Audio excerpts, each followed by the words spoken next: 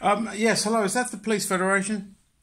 It is. How can I help? Uh, can I speak to Ken, please? It's Lord Barrington. Um, Ken Marsh. yeah, it's.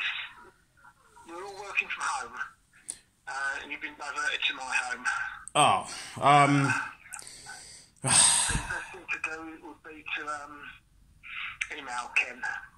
Um, my PA isn't. Uh, she's uh, um, she's inconvenienced me by having a baby yesterday, so uh, I've uh, I've not got anyone. I don't usually do the emails or the calls myself. You see, so um, is there any chance that you could pass a message to Ken for me, please?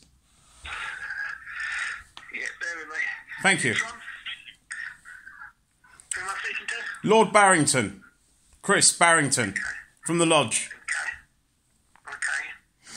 Um, we followed his advice. He, uh, he he gave an interview on on Radio Four recently, and he basically said to um, put on the doors at the we we have a small souvenir shop on the estate, you know, uh, snow globes and bookmarks and silly stuff like that.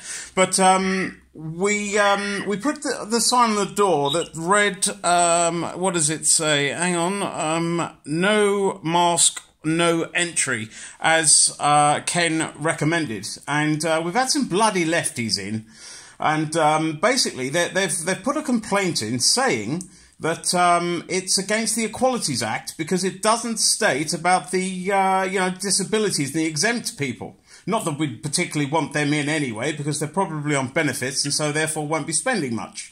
But beside the point, um, I was just wondering, as, as it's Ken's advice, could you uh, ask him if he's uh, at all, if he could maybe, because we have the um, names and addresses of the complainants. And what we what, what I'd like him to do is maybe uh, send some people round there to uh, give them words of advice to uh, withdraw the complaint. Um, you know, after all, it was his advice, and he should have uh, quite clearly stated that uh, there should have been, uh, you know, a, a, a caveat on the uh, sign um, to allow for uh, people with disabilities. Um, did you get that? I certainly did, yeah. I'll pass it on to him. Okay. Thank you very much. Thank you. Bye now. Goodbye. There you go, guys. You got a copper called uh, Ken Marsh. He's the chairman of the Metropolitan Police Federation. He went on Radio 4 and he said that shopkeepers need to step up and um, they can quite easily put signs up on doors no mask on, no entry. This is a private property. Uh, this is private property.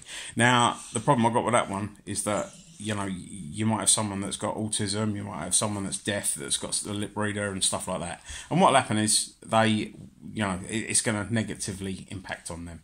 So uh, you got the copper saying that. So I thought Barrington and his, um, you know, estate souvenir shop should be ringing him. Um, look up the Equalities Act of 2010. Take care.